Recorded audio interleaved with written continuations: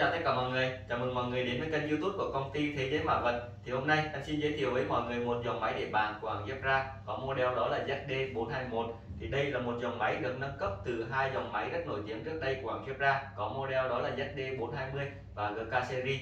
Thì nó được nâng cấp rất là nhiều thứ về mọi mặt Nhưng đặc biệt đó là về hiệu suất hoạt động. Thì về hiệu suất hoạt động của nó thì nó tốt hơn 30% so với dòng ZD420 Và tốt hơn gấp nhiều lần so với dòng GK Series thì mọi người hãy cùng em khám phá bên trong chiếc máy này có những gì mà nó được đánh giá cao như vậy. Thì bây giờ em sẽ mở cái hộp máy ra để cho mọi người cùng xem ha. Đây.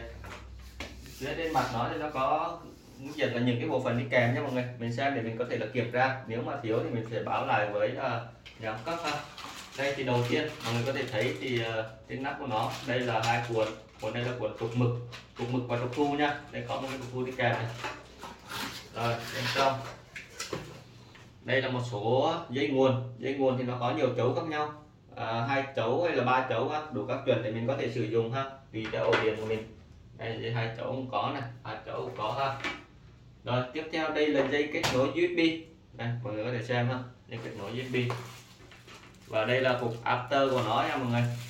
Đây kèm after rồi bên trong này thì đây là một cái quyển sổ hướng dẫn sử dụng cơ bản. Đây, đóng nguồn mở máy như thế nào, lắp đặt giấy mực như thế nào, có hướng dẫn trong này nha mọi người? Đây, chi tiết ha, có mã QR mình quét vào thì để mình có thể là cài ờ, cái phần mềm cho ta setup ha. Đây, số cái hướng dẫn lắp giấy, lắp mực. Đây sổ này ờ, để hướng dẫn nha, khá là kỹ ha. Rồi, bên trong là một số cái thông số của nó số cái tiêu chuẩn về cộng kết nối và một số thông số hoặc là AFSD một số cái ha. Đây cái um, này là cái link để mình có thể là hỗ trợ của Jabra nha mình cần hỗ trợ có thể tới link này. Rồi đây là tiêu chuẩn về cái nguồn điện. Có rất nhiều thứ tiếng ở trong này.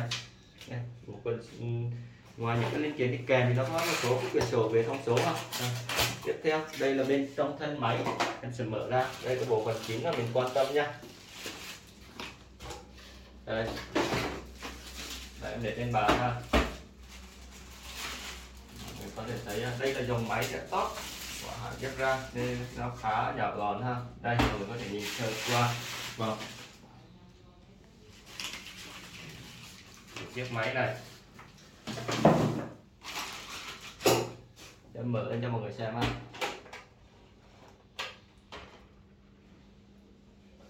rồi, tiếp theo thì mình sẽ cùng đi đến những cái tính năng cũng như những cái thông số cơ bản của chiếc máy này.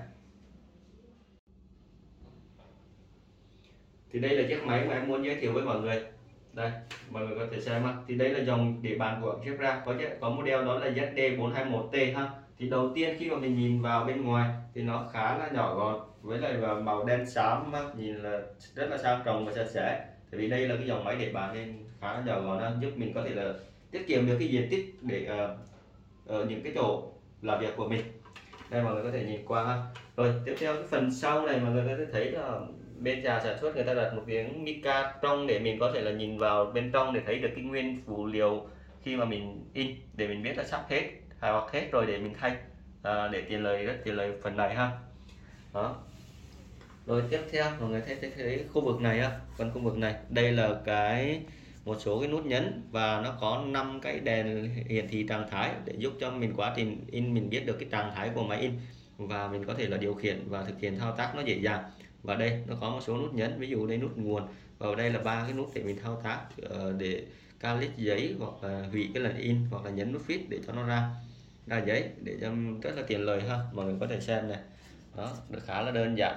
Đây, và những cái đèn led trạng thái rồi tiếp theo thì à, đây nó sẽ có hai bên hai cái tai này để mình có thể là kéo tới phía trước để mở cái máy lên. Thì em sẽ mở cho mọi người ha. Nó kéo nhẹ nhàng mở lên thôi đơn giản nhẹ nhàng rồi, phía bên đây là phía bên trong của chiếc máy, mọi người có thể nhìn sơ qua. Đây là phía phần bên trong của chiếc máy ha. Rồi, mình cũng đi sửa một xí giấy này. Thì đây là cái khu vực để mình có thể là để để giấy ha. Thì nó sẽ từ, mình kéo ra, nó sẽ từ mình co vào này. Để mục đích là những cái cuộn giấy nó có kích thước khác nhau, nhỏ hơn, lớn hơn thì nó cũng có thể là giữ được ha.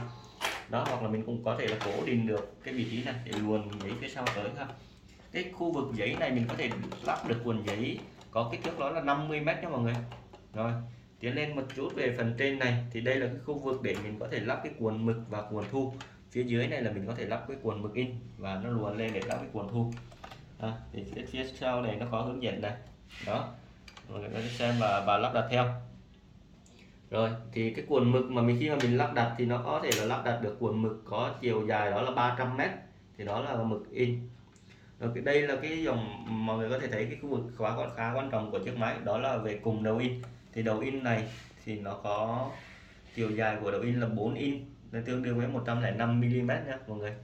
À, phía dưới này mọi người có thể xem á, thì đây là cái vị trí của con cảm biến. Có một cái hay của cái dòng máy này đó là vị trí của cảm biến mình có thể là di chuyển từ trái sang phải di chuyển hết cái chiều dài của cái đầu in. Tại vì một số hàng thì mình chỉ có thể là người ta cố định cái vị trí của cảm biến này ở giữa hoặc là người ta chỉ có cho phép di chuyển một nửa bên này hoặc nửa bên kia thôi. Thì đây là cho phép mình di chuyển hết tất cả để nó có thể đọc được cái vị trí mà cái cái khổ giấy của mình. Nguyên cái chiều dài này, thì đây là một trong những cái điểm thế mạnh của cái dòng máy ZD421T này. Của hãng ra. Rồi, thì em sẽ đóng xuống và đi tới cái phần cổng kết nối của máy cho mọi người xem ha. Đây, phía sau này thì mọi người có thể xem thì nó có, hiện tại nó chỉ có jack cắm nguồn và cổng kết nối USB thì nếu đây thì đây là cái bản tiêu chuẩn, nên nó chỉ có cổng USB còn nếu mà mọi người muốn chọn option thêm thì mọi người có thể chọn thêm option gắn thêm cổng LAN hoặc là cổng RS232 thì cái này thì mình phải chọn trước khi mà mình mua máy nhé mình yêu cầu để chọn trước khi mình mua máy. Nhưng còn mình mua máy về rồi mình lắp thì sẽ không không không thể tự lắp. Mà bên nhà sản xuất thì người ta sẽ sản xuất và người ta sẽ sẽ lắp luôn cái cổng đó cho mình khi mà mình đặt hàng và mình chọn đúng cái option đó nha thì đó là một số cái thông số cơ bản của cái chiếc máy này. Thì bây giờ em sẽ tiến hành lắp đặt thử và in thử cho mọi người để xem cái khả năng in ấn cũng như là cái tốc độ in của cái chiếc máy ZD421 này của hãng Zebra thì tiếp theo, em sẽ in thử cho mọi người xem về cái khả năng in ấn của cái dòng máy này. Thì ờ, em sẽ in thử cho mọi người xem ha. Đây ờ, thì em có thiết kế một cái file rồi. Cái file thì khi mọi người mua mua máy thì bên em sẽ cài đặt và hướng dẫn cho mọi người một cái phần mềm Intel. Tại vì ờ, cái phiên bản này bên em đang chọn nó là phiên bản là 300 dpi nên thành ra là em đang test với cái chất lượng chữ rất là nhỏ ở đây ha. Nếu mà một số chữ lớn nó có font chữ là 12 ở đây này 8 này uh, 6 7 này đặc biệt cái hàng dưới này là con chữ có 4 này. Mà mọi người thấy nó in ra khá là nét ha.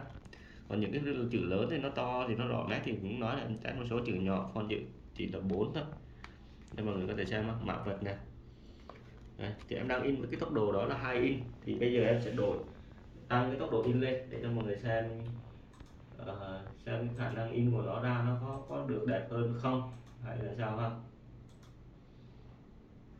đây em sẽ in thử 20 con nhá.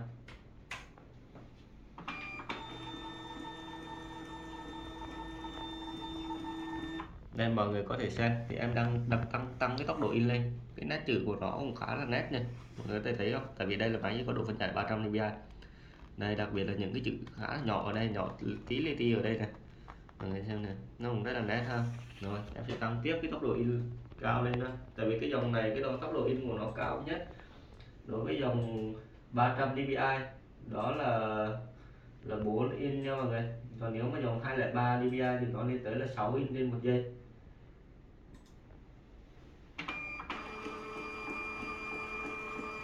Đây tốc độ in rất là nhanh ha. Đây mọi người thấy nó chữ của nó là một cũng rất là ờ, cũng đang còn rất là đẹp ha. Đó mọi người có thể xem.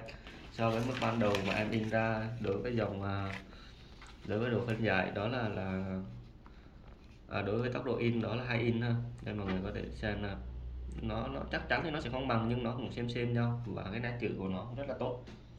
Đó, thì em sẽ in tiếp cho mọi người xem. Đó, khả năng in ấn của nó. Đó là in rất là nhanh nên thành ra là mình không bị gián đoạn trong cái việc mà chờ trang hay là về cái thời gian in. Chiếc máy này nó rất là đảm bảo cho mình. Thì chiếc máy này có hai option để cho mình chọn. Option cơ bản tiêu chuẩn đó là 203 còn nếu mà mình muốn chọn nâng cao lên thì mình có thể chọn độ phân giải 300 dpi để cho cái bản in của nó có được sắc nét và đẹp hơn. Khi mà mình in những cái chữ nhỏ hoặc là cần những cái chi tiết mà mình cần phải rõ ràng hay đó thì mình sử, sử dụng những cái cái độ phân giải cao hơn để mình in. Đây, có thể xem